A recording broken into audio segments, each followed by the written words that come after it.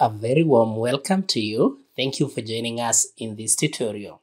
And in this tutorial, we are going to learn how to create a CRM in Excel. Now, this is an easy tutorial to follow. Kindly follow this up to the end.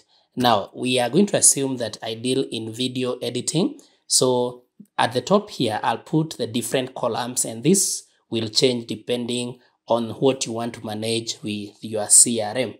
So I'm going to call the first one here, project name. Let me just call this one project number. You notice if it goes beyond the cells here, you simply come at the top and you double click so that it now fits this. You can also do what we call text wrapping. If I undo that, then click on this, I can come to the top here and click on wrap text so that this column does not extend this side. So then I'm going to call this name. Then I'm going to have a column here for owner. And then I'm going to call this maybe another column for status. And then I'm going to call maybe this column here for value. Let me put it as cost. And then I'm going to put here the email. And then maybe a contact number here. And then I can put the priority and so on and so forth. So you can do this up to the end depending on the number of columns that you need depending on your project. Then I'm going to highlight all this. I'm going to make it bold that way. So that's where we want to begin. Now I can rename this sheet, this one, and I'm going to call it projects.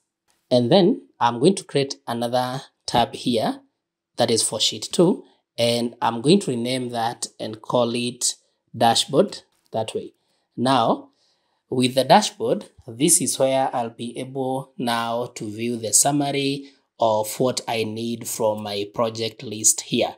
So how now do we create things here? So let me put this as project number one, then project number two, project number three, and so on and so forth.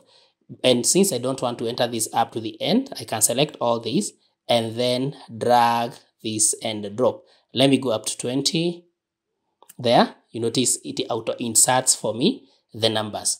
Then here I have the name, I have the owner, I have the status. Now, let's come to status here because for the status, maybe I only have three status for this video projects. Maybe have complete, incomplete, ongoing, and all that. So how now do we create the columns for that?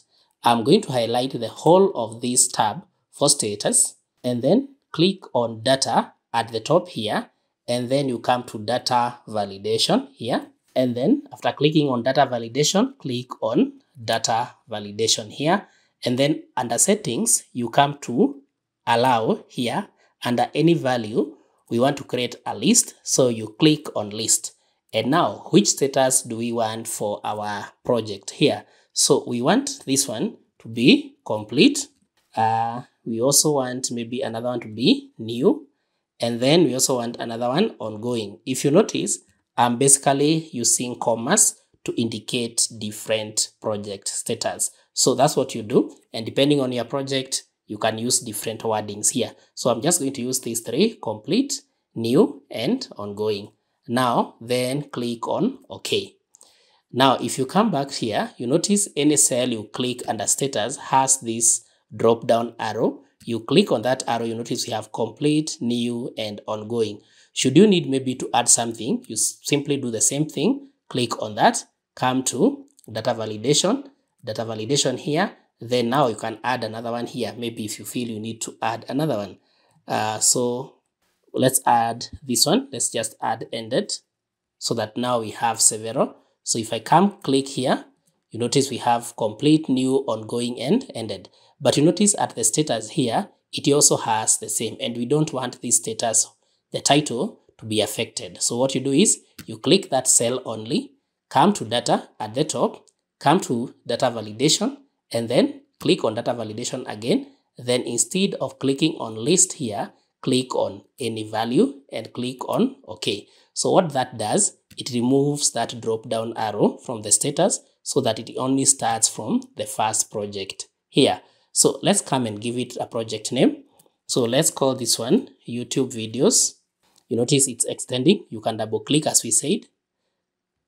You can double click at the top here so that now it fits for that column. Then let's add the owner. Let's call this owner John. And then you now notice when we come to the status, I just click on that and maybe it's a new project. And then now I can come to cost. How do we customize the part for cost? You simply click again the whole cell there and then click on home here. Then here for general at the center here, you select currency because you want that to be a currency. So click on currency. And then now you'll notice if I come to cost here and maybe I type 100 and then click enter, you notice it's 100 Kenyan shillings because my currency is currently set at 100 is currently set at Kenyan shillings. To change the currency type, you simply come here and select from this list.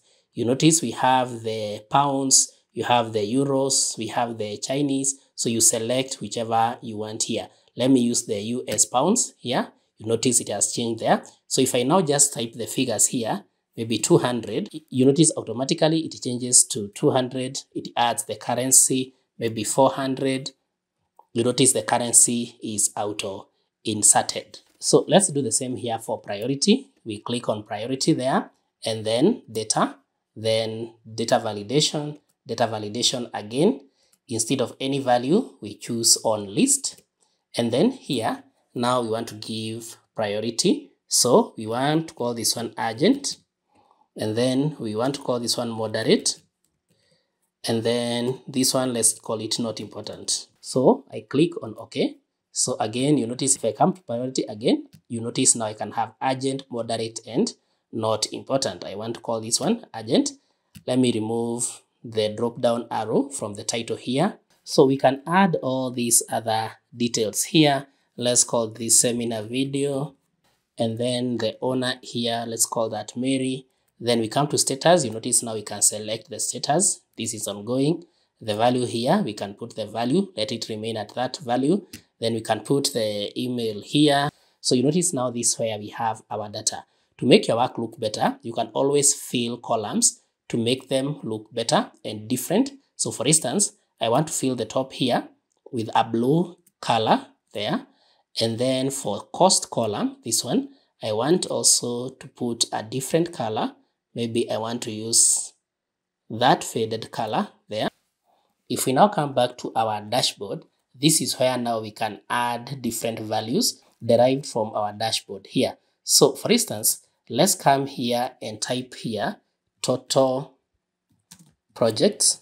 And then now, because we want the total project here to be a figure, we are going to type here is equals to, and then we now insert the formula is equals to count. Then what do we want it to count? Then we now click here, count, and then we come back to our project. We want it to count all this up to the end. So if we come back to dashboard, we just click on enter. You notice the value there is 20. So if we come back to projects and let's say delete 20, and then we come back to dashboard, you notice it has automatically changed to 19. Let's come back and delete from 16 all the way. We delete that, automatically update here. You notice the total projects have been updated there. So we can again use a different color for the total projects there. We want to use green for total projects. We also want it to be bold. We want it to be big. And then we want it to fit in there. So you notice we can have total project there. And then we also want maybe to add something maybe for status. Status. So again, for status here, we insert the formula again. We simply say is equals to, and then we also give it what to count, and then we give it the value to count here. So what do we want it to count? We want it to count if these columns here for status, all this, that is the whole of that column, if maybe it is whichever project we want to, status we want to compare here, we can now just type there. We want the one that is maybe ongoing. So you simply come here, if, and then you add ongoing. You want it to count these ones as much as it's only for ongoing. only maybe for ongoing or for new, whichever it is. So once you do that, you realize that automatically it tells you that ongoing, we have one project there. So you can do that for all the others. And so you come and select your data here and then click on insert. And then now you can decide on what kind of data presentation you want to select. For instance, we have here the recommended charts. So you can click on that to see the charts that are recommended. By selecting first, you have to select the cells that you want, and then you can now click on recommended charts. You notice we have the charts here. We can have the pie chart like this one. If I click on OK, you notice now we have our pie chart here. You notice now we have our pie chart here. So let's undo that. Let's just add a few more things here. Let's, maybe let's just add a column for pending, assuming we had added it to project here and then added the formula for it to detect automatically from our project here. So let's just add 10 that way. So we still do the same. We select our data here and then we come to insert and then we can click on recommended charts. But in case you want to use any of these other charts, you can always use that. So let's use this one. You notice how that one looks like. We can also use the second one here. We can use the first one here. So you can use any chart that you would want. So let me use this one. And remember, you can even do more than one chart. So let me do another graphical presentation of the same info. I just select the whole data there and then come to insert and now I want to use these line graphs here. I can click on that. So you notice now we have that one presented there. Then we can arrange them. I want it to be there. I can even resize that by just dragging and dropping. And so with that now, you notice you'll have your simple CRM. If now I come here and change this to 20, you notice how my graph changes here. It does it automatically. That means if I come to my other side here, change anything, then my dashboard will automatically be updated and my graphs will be updated. Let's change the ongoing status, this very small one here. Let's put this at 40. Click enter. You now notice how our graph looks like. Ongoing, it's here, new, ended, pending. Let's improve on the new. Let's come to new and type that to be 20. You notice how it has shifted here. Let's return that to 30 maybe you notice it goes up again and the charts keep on changing. So you notice we have our own CRM well represented here. And that is how you create a CRM in Excel. I hope this has been helpful. Kindly like this video, share and subscribe to our YouTube channel.